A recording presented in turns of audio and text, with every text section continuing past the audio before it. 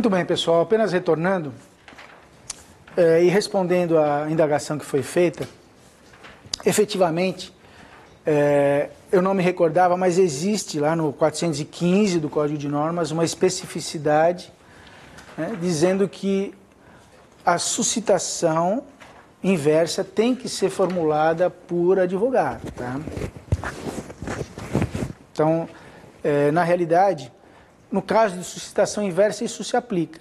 Agora, no caso da, do procedimento de dúvida normal, como não há necessidade sequer não é, da impugnação para que a suscitação de dúvida seja apreciada, né, o fato da, do interessado se manifestar ou não, né, a única diferença é que o juiz poderá simplesmente ignorar, mas de qualquer forma apreciar não é, aquela suscitação de dúvida, que será, ao fim e ao cabo, apreciada pelo Poder Judiciário, independentemente de manifestação na suscitação de dúvida direta. Tá?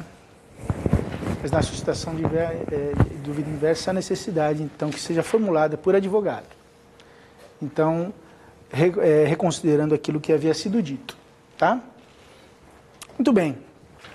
Um outro tópico do nosso edital diz respeito ao registro Torres, tá, pessoal? Registro Torres, que está lá, é um capítulo próprio lá da Lei de Registros Públicos, tá?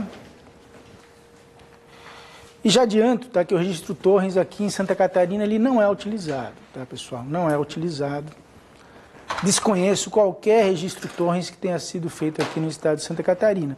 Ele é utilizado no Rio Grande do Sul, não é? É utilizado em Mato Grosso, Mato Grosso do Sul. Goiás também tem registro Torres lá. Mas ele não é utilizado em muitos estados da federação, entre eles Santa Catarina. Tá? De qualquer forma, é um procedimento previsto na Lei de Registros Públicos. Existe uma dissensão doutrinária. Regnoberto Marques de Melo Júnior diz que uh, o registro Torres deixou de existir em nosso ordenamento desde lá a edição do Código Civil de 1916, que não o previu, né? e como o Código Civil ele tratou da matéria a exaustão, ele teria revogar, é, revogado tacitamente toda aquela legislação anterior que disciplinava o registro Torres. De qualquer sorte, não é?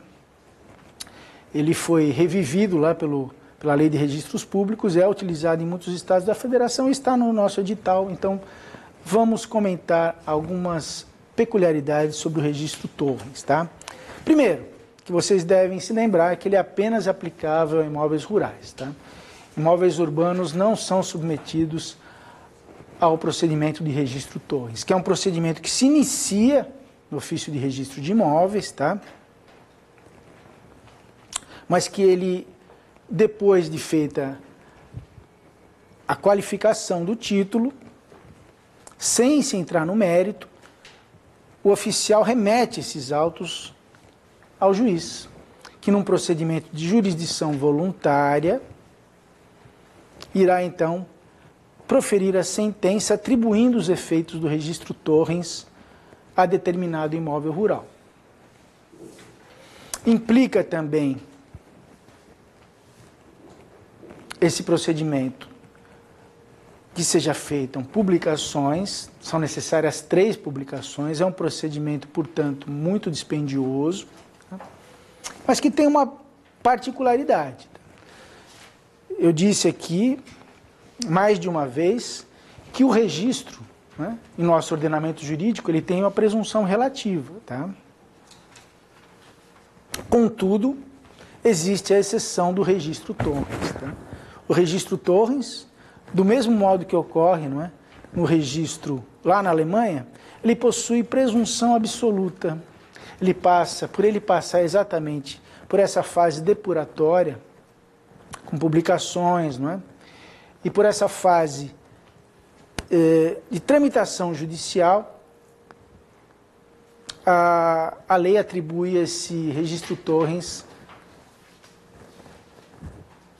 presunção absoluta de veracidade. Tá? Muito bem. Portanto, o registro Torres ele não poderá ser questionado com relação ao seu procedimento. Uma vez realizado o registro Torres, a presunção absoluta de dominalidade sobre determinada área rural. Ok?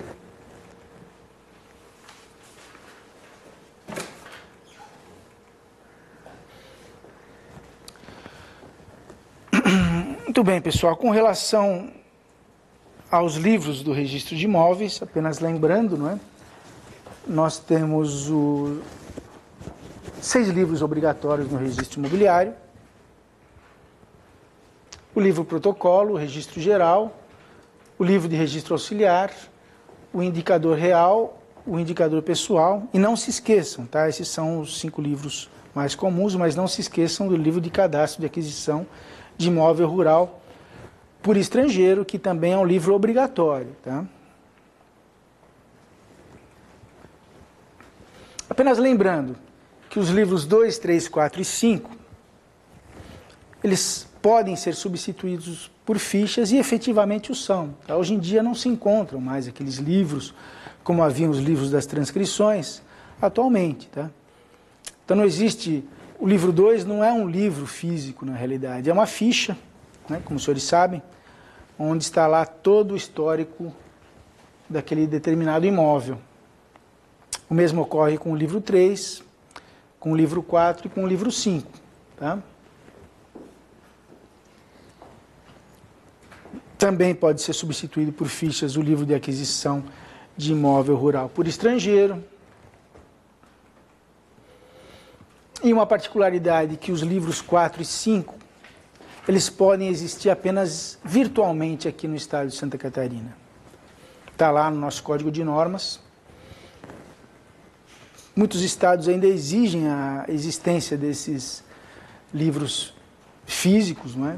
são inclusive objetos de correção, mas aqui em Santa Catarina não há necessidade eles podem estar apenas presentes dentro dos programas de computadores, tá? E assim é lá na minha serventia, eles não existem fisicamente, tá? Todas as fichas que existiam, elas foram inseridas no sistema, eles são mantidos apenas em meio eletrônico. Mesmo porque as buscas são feitas eh, de forma muito mais eficaz por via de computador. Não, é? não existia realmente necessidade alguma da existência física dos livros, eh, dos indicadores real e pessoal.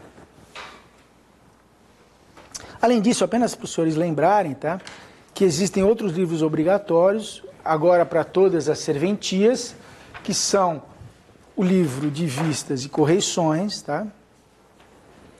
Esse livro que é formado pelas próprias folhas é, objeto da atividade correcional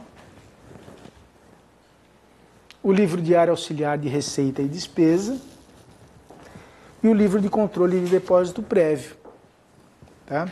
Esse livro de controle de depósito prévio, na realidade, ele, ele indica toda a movimentação financeira que ocorreu é, dentro da serventia que nem sempre é idêntico ao diário auxiliar. Por quê?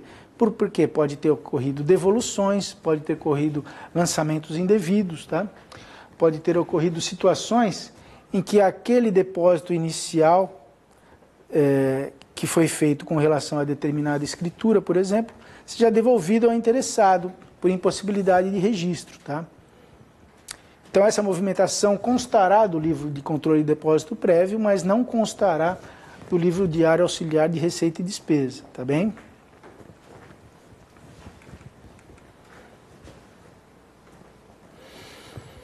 Muito bem, seguindo em nossa toada, então, vamos falar um pouco dos títulos judiciais registráveis e averbáveis, tá? Os títulos judiciais registráveis são aqueles em que existe é, transferência de dominialidade, como regra, tá?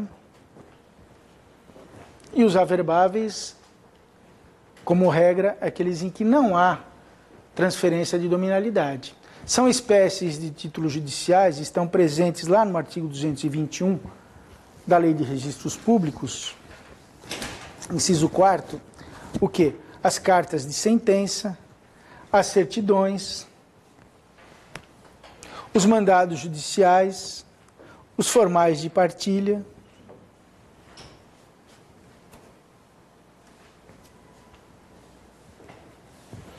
E são considerados né, esses títulos em que há